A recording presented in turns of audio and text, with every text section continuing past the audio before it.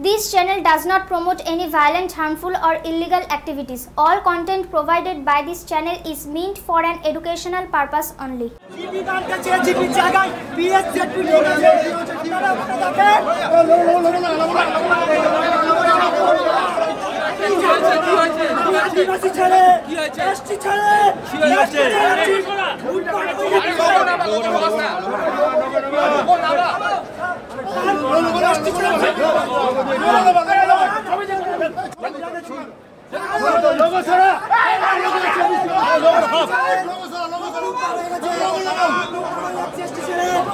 আমার লড়ানো এরা সার্টিং অফিসারের সার্টিং অফিসারের ফুল সিগনেচার সামনে ব্যাপারে ফুল আছে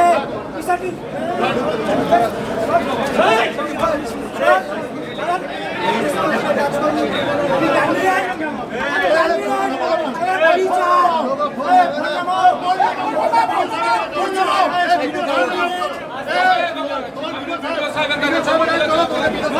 stadium, stadium, stadium, stadium, stadium,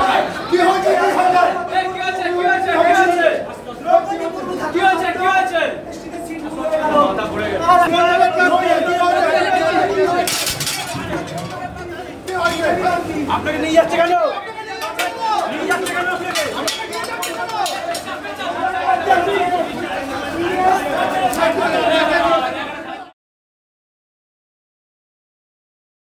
Barrackpore block ওয়ানে গণনা কেন্দ্র করা হয়েছে পানপুর মাখনলাল হাই স্কুলে। সকাল থেকেই সেখানে শাসক বিরোধী সব পক্ষের নেতারা উপস্থিত হয়েছেন। যদিও গেটের বাইরে কাউকে জমায়েত করতে দেয়নি ব্যারাকপুর পুলিশ কমিশনারের কর্তারা। এরই মধ্যে গণনা কেন্দ্র থেকে মামুদপুর গ্রাম পঞ্চায়েতের আট নম্বর ওয়ার্ডের বিজেপি প্রার্থী বরুণ সর্দারকে বের করে দেওয়ার অভিযোগ ওঠে পুলিশের বিরুদ্ধে।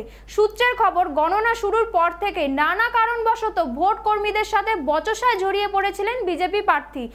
ভোটের কাজ ব্যাহত হওয়ার দরুন ওই বিজেপি প্রার্থীকে ঘর থেকে বার করে দেয় পুলিশ। যদিও গোটা বিষয় নিয়ে বিজেপির রাজ্য মহিলা সভানেত্রী ফাল্গুনী পাত্র বলেন, ভোটের দিন ওকে টার্গেট করেছিল তৃণমূল।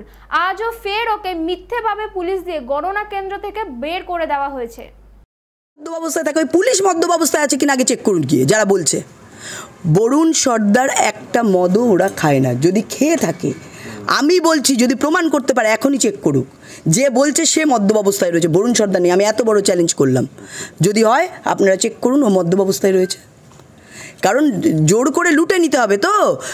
কজ দেখাতে হবে তো। এরম কজ আগামী দিনে পুলিশরাও দেখবে। যেরম প্রতিক্রিয়া দিচ্ছে, প্রতিক্রিয়া তারাও পাবে। সব দিন একরকম যায় না। তো যা করছে পুলিশ, যে দলদাসে পরিণত হয়েছে, এটা কিন্তু খুব ভয়ঙ্কর। এটুকু বলে রাখলাম। আজ, আজকে টেবিলের তলায় লুকিয়েছে, এরপরে পুলিশ কোথায় লোকাবে, পুলিশ ভাববে।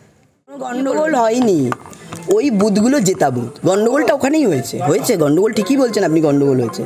গন্ডগোল হচ্ছে মামুদপুরের তিনটে ছাড়া আর কোনো আসন তৃণমূল পাবে না। গণ্ডগোলটা ওইখানে।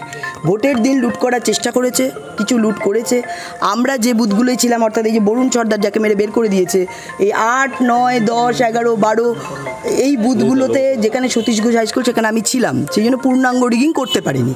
তো ভোট পুরো লুট হয়নি। তো যেটুকু বাকি ছিল সেটাই কাউন্টিংয়ে লুট করে নিল। এটাই ওদের কাজ।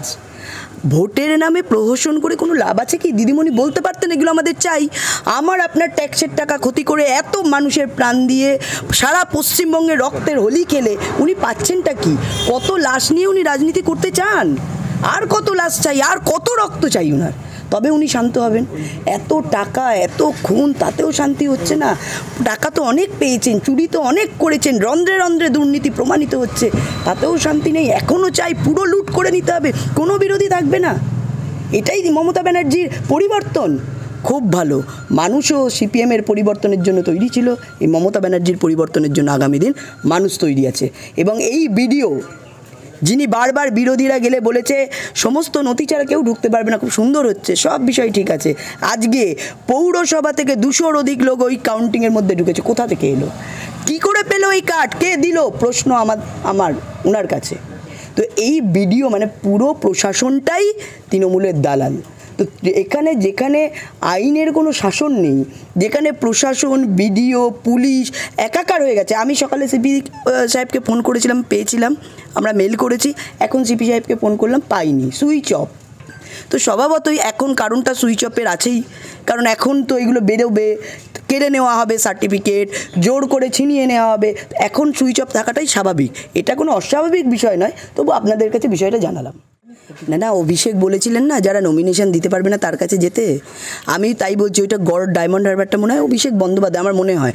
ওই সর্বভারতীয় উনি বলতে বেশি ভালো লাগে, একটা আঞ্চলিক দল, ওনার ডায়মন্ড হারবারটা ওনার কন্ট্রোলে নেই, বোমা বাবার যেই হচ্ছে। ভাবুন, উনি নাকি আবার বলে কেউ দিতে না পারলে আমি দিয়ে দেবো।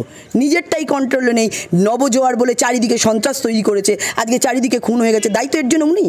ওনার পিসিমণি ইলেকশন কমিশনার তো যে নিজের গড় সামলাতে পারে না, বোমাবাজি করতে হয়, সে নাকি অন্য জায়গায় সামলাবে। তিনি নাকি মুখ্যমন্ত্রী হবে। তিনি আরও আরও অনেক কিছু স্বপ্ন দেখে। তো এমনি তো সর্বভারতীয় গেছে। এবার ওই ডায়মন্ড হারবারের মানুষ ওনাকে এরপরে মানবে না। আগামী দিন সেই পরিস্থিতি আসছে। প্রথম থেকে ইলেকশনের আগে থেকে যা পরিস্থিতি তৈরি হয়েছে এবং ইলেকশন ডিক্লিয়ার হওয়ার পরে বিডিও অফিসের সামনে একশো চুয়াল্লিশ ধারা।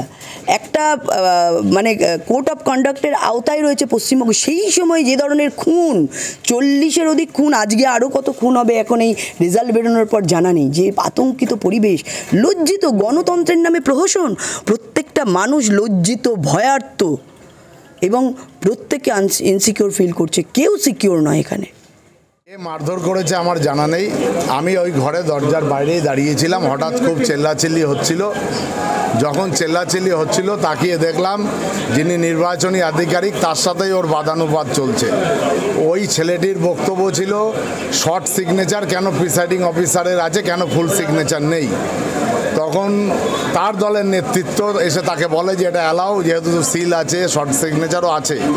তা সেই ছেলেটি মানবে না, এই নিয়ে অনেকক্ষণ ধরে বাদানুবাদ চলছে। তখন পুলিশ এসে তাকে বোঝাতে গেলে পুলিশকে ধাক্কা মারে এবং সেই পুলিশ অফিসার পড়ে যায়। তারপরেই দেখলাম পুলিশ এসে তাকে ওই ঘর থেকে নিয়ে রিটার্নিং অফিসার বিডিও সাহেব যে তার কাছে নিয়ে গেলেন এবং ওই ঘরে পাঁচটা টেবিলের কাউন্ট চলছে। সেই পাঁচটা টেবিলে চারটেতেই বিজেপির ক্যান্ডিডেট আছে। পাঁচটা টেবিলেই বিজেপির কাউন্টিং এজেন্ট আছে। শুধু সেই ছেলেটার, আমার যতদূর বোঝা গেল, ছেলেটা একটু সাইকো আমি ছেলেটাকে সেইভাবে চিনি না। তার যা কথাবার্তা ল্যাঙ্গুয়েজ দেখলাম সাইকোটাকে বলেই মনে হলো। আজকে সেটা প্রমাণ হবে। প্রমোশন প্রহসন হয়েছে, কী হয়েছে, মানুষ রায় দেবে।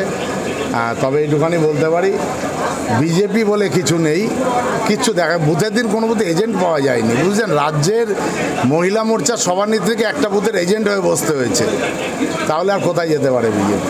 ভোট গণনা কেমন চলছে দেখুন। জগদ্দল থেকে Himadri Shekhar ভট্টের report channel twenty four by seven.